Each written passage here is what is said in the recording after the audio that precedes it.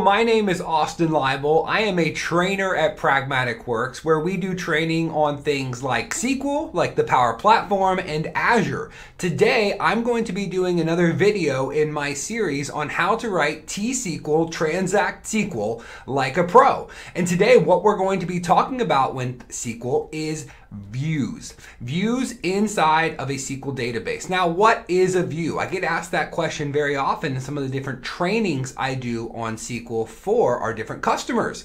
Well, a view is a virtual table that is based on the result of a select statement. So a view does not store data itself. It's not a table on a database. It's a virtual table. So the data is not physically stored there and it does not exist on the database. But it rather provides a way to look at data from one or more tables as if they were a single table. One of the main advantages of a view is that they can be used to simplify the structure of a database and make it easier to work with. For example, if a database has several tables that are related to one or more tables in a very complex way, a view can be created to present the data in a more simple and more intuitive way. So additionally, views can be used to also restrict access to certain columns or rows of a table and make it easier to control access to sensitive data.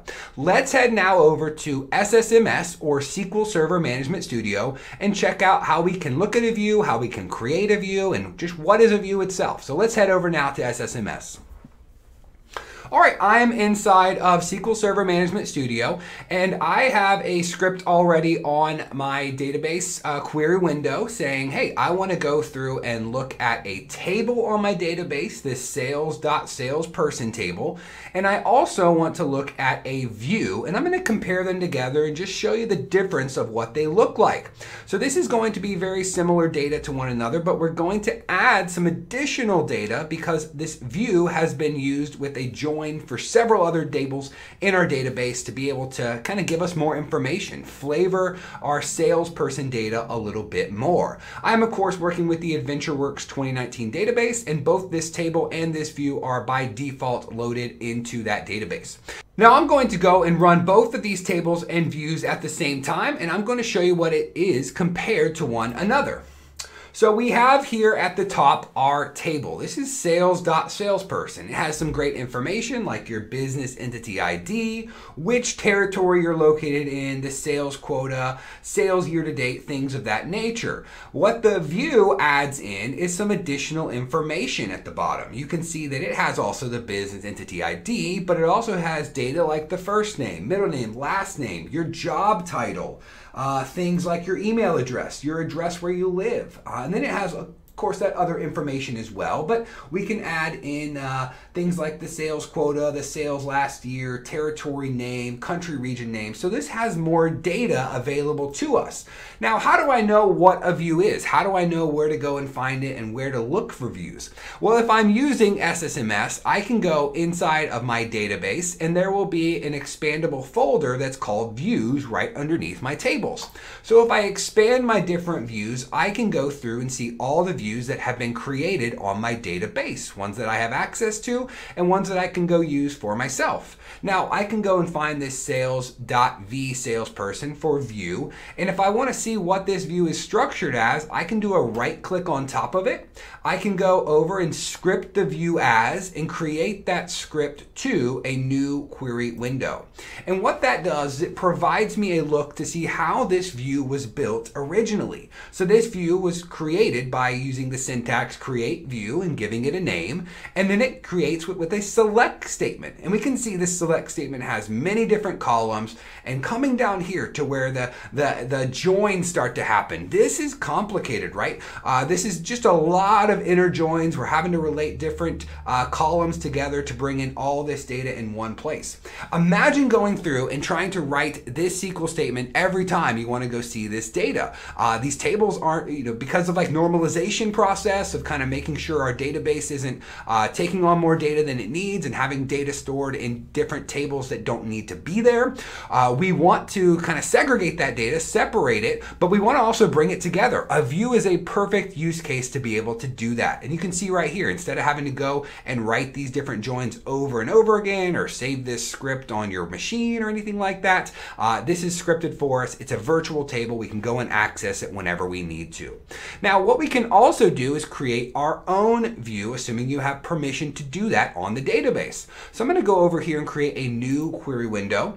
And what I'm going to do is I'm going to create a view that only allows me to see certain uh, territories with my sales.customer data. So again, to restrict access to certain uh, data that maybe I don't have access to. Maybe I'm a salesperson for just territory ID 1 and I don't want to see any of the data from territory ID 2, 3, 4, 5, etc.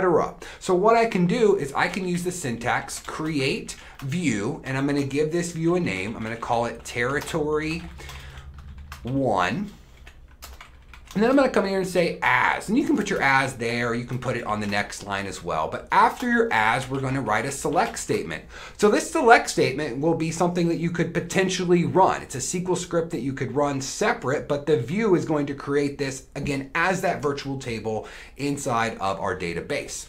So we're going to say what this is. Of course, we want to come down here and specify our sales.customer table first, go back, write our select statement. So we could say something like like customer ID would be perfect for this table, as well as the territory ID as well. And then once we go through, we also want to restrict this just to see territory ID 1.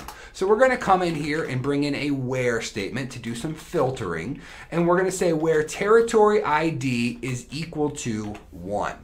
So create view called territory one as this select statement. So again, I can run this select statement right here, and this is just going to show me what the view is composed of. But when I run this entire script, it's going to allow me to create that view very quickly. Again, the data is not physically stored here. So what I can do is do a nice refresh on my different views and see that DBO database owner dot territory one was created for myself. I can go through here now, select the top 1000 rows, and there we have it. I have restricted just this view to see the territory IDs, uh, one for different, different customers that live in that territory. Again, just a really awesome way we can do this. Now, one other thing we can do with a view in a great use case is to create some sort of aggregation. So I'm going to create an aggregated view as well. I'm going to type again the syntax create view. I'm going to call this view products above average price. Products above average price. If we want to see all the products that are above the average price, we can create the view to do that. So we can just keep a record of that for ourselves instead of having to go again and write this SQL over and over. So we're going to say as select, and we're going to come in here and we want the name of the product as well as the list price. So we're going to bring in those two columns. We're going to go ahead and do our from production dot product from production.product. And then we're going to do a filter here as well where we write our aggregation. So I'm going to actually pull in a where statement and say where the list price is greater than. And then what I'm about to do next is something called a subquery. A subquery is a way that you can go through and write a query to pull back results from a table and have that results be aggregated for yourself. There's a lot of different things you can do with subqueries. It's a different alternative way to join data. So uh, Uh, subqueries are just an alternative pattern to be able to return certain results for ourselves. So what I'm going to do here is say where the list price is greater than, and then I'm going to write another select statement. I'm going to write select, and then I'm going to come over here and say from production.product, again, from production.product. And for my select statement, I'm going to pull over the average of the list price. I'm going to bring over the average of the list price from production.product. I'm going to wrap this up in its own separate parentheses, and I'm going to put that semicolon at the end. So now again, I can run this for itself. It's going to execute correctly. This is what I want to see for myself. Again, the products above the average price. I'm gonna go ahead and create that entire view. Again, go ahead and do a quick refresh on my views here.